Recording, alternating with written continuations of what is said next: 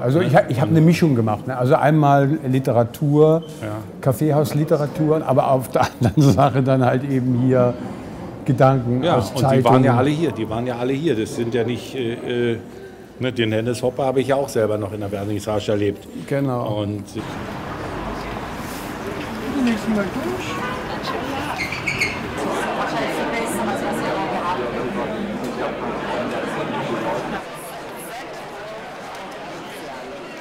Der, der Spiegel gratuliert dem Kaffee Einstein und setzt quasi äh, seine Farbe ja. und äh, eben auch seine, seine Schrift und alles genau, als Einstein. Das heißt, Einstein ist eigentlich Spiegel und Spiegel ist Einstein.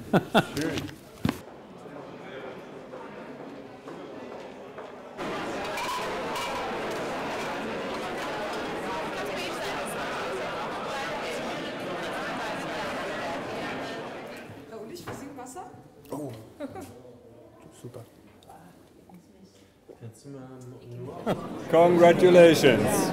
Ja, ja danke was für ein Tag. Jetzt habe ich Ihnen erst die Hand gegeben, tut mir so leid. Das ist meine erst die Dame. So Schönen guten Abend. Herzlichen Glückwunsch. Ist doch toll. Genau. Ich möchte nur noch mal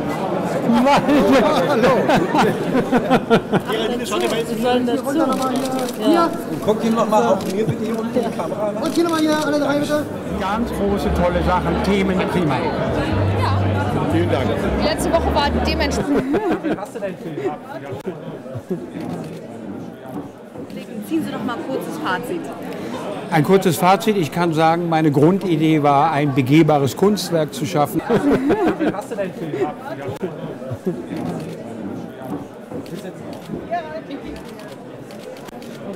Und beide nochmal gerade. Warte mal, ihr müsst ein bisschen die Es gibt übrigens keinen einzigen Stuhl, der in den 15 Jahren bis jetzt zusammengebrochen ist. Es kann natürlich jetzt sein, ich als Gleich Leichtgewicht.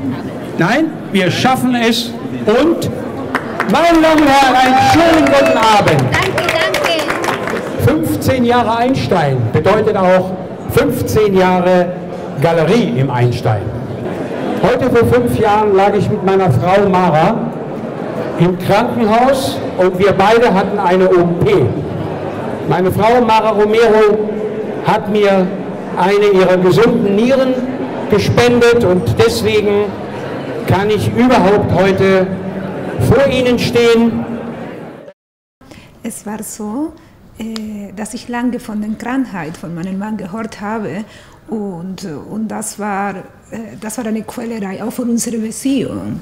Und dann habe ich gesagt, okay, äh, dann ich spende dir eine Niere und dann ist es ein Thema Krankheit zu Ende.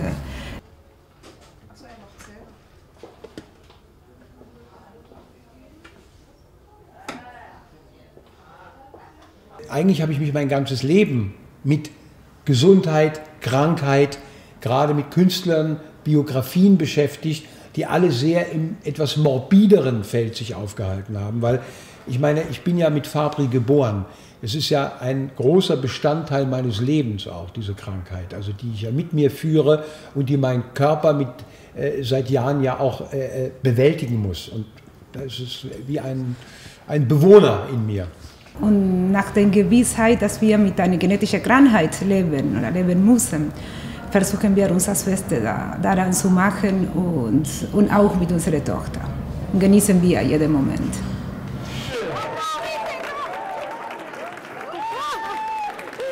Da sind sie, meine Damen und Herren. Seit fünf Jahren tanzt Mara. Und jetzt möchte ich mit meiner Frau Mara einfach nach vorne schreiten. Thank you.